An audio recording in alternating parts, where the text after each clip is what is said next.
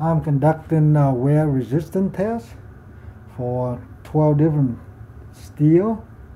And I, in this video uh, I will initially we show you how I conduct the test. And uh, for this uh, steel is K110 which is the same thing as D2 and so first I adapt the edge for cutting uh, palm frond um, against the cutting board and this is the end grain cutting board.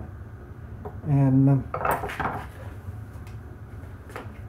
so I will initialize this edge by make sure that the edge not too fragile or you know, yeah mainly not fragile so that uh, we're not testing for strength or toughness we're talking about how long it takes to wear the edge from um, the newsprint slicing. I will slice at about 30 or 45 degree.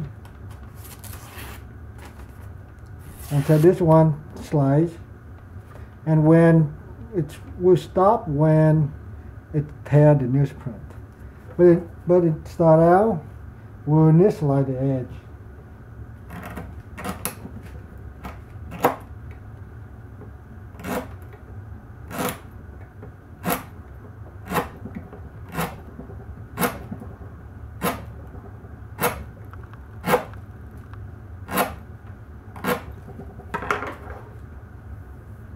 And so if the edge is still fragile, it will roll over or chips or something like that. Then we will make the edge more obtuse. Or the angle a little wider instead of really narrow. And look like this edge, I, I think I prepared it, but now there are little, there are little catch there. And so after I initialize it, then I just go and deburr my edge. And the angle, slightly high angle. So make sure the edge is stout enough for this task. And this is DMT extra fine and which is somewhere about 9 to 12 micron diamond.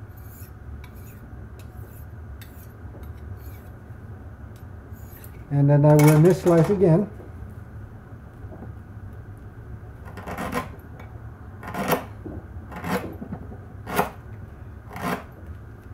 And the cutting board again, end grain, so that you do you end up with a lot of wear instead of if you if I cut against something really hard, then it will.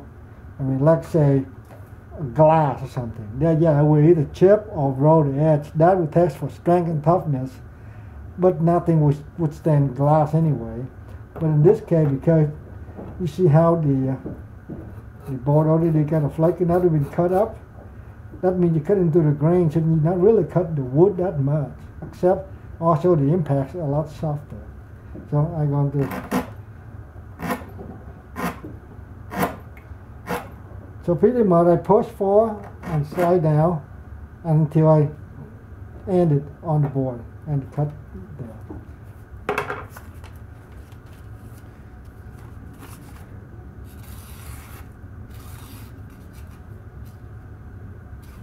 Next to the heel is not as, I don't, I guess this the area I'm cutting so next to the heel, heel here is, is not that smooth. Look like I have microchips already there from my previous use or something.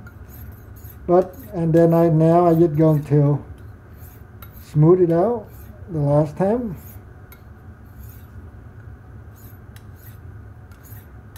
Uh, let me deburr it anyway, just to be sure.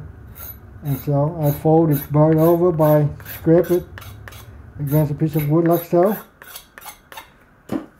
And uh, I didn't mean to throw that in the garbage and let me see any burr there, there's some right here I will clean it up.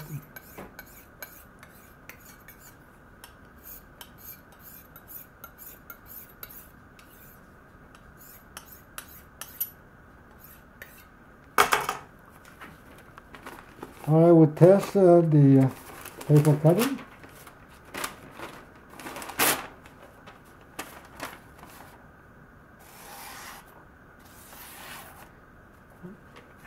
Clean enough. It's not super fine edge.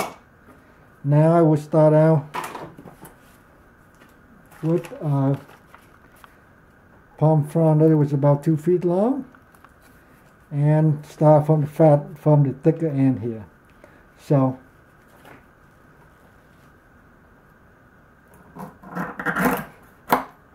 one, two, three, four, five, seven, eight, nine, ten, eleven, twelve, thirteen, fourteen, fifteen. So I will stop every 15 cut and detail one line. So one of the boxes, one of these boxes is uh, five lines, so will be 75 cut. So that's one, and I'm going to cut. Again, I'm not cut cross grain. I'm good about an angle wood grain a little bit up with the paper here. So, and if, if it cut a little bit, then I would you know sometimes clean the edge, make sure that we don't have cutting debris on it. It's smooth. So, and we'll continue doing this until it's, and of course, this edge, I mean this part of the frond here is skinny, so it's less meat, but the fiber here actually fairly tough too. However, still not as much as here. But all the knife go into this same configuration, so the fairness is fine. So, and uh, I will cut one more, then we done with this video. Two, three, four, five, six, seven, eight, nine, ten, eleven, twelve, thirteen, fourteen, fifteen. And another line. That that means thirty now. And uh, we test cutting the uh, paper. No problem. Well, and I kept continue, and you can see some of the steel so far, like ZDP 189 at already at 1500 cut, and you have S30V, Mora, sometimes stop cutting at about 500 and something, and here the list. This is how I keep track. And realistically, because some of these steel cut so many, I actually cut 75 cuts sometimes. Then I test for the newspaper because uh, for the slicing of the newspaper because by the way it cut I can tell whether or not the edge is, uh, is still sharp or it's dull. And of course I was think going to test whether the news uh, to cut news I mean printer paper but I think even with newsprint here when they cut into the thousands um, I think I will stop after cutting news newsprint.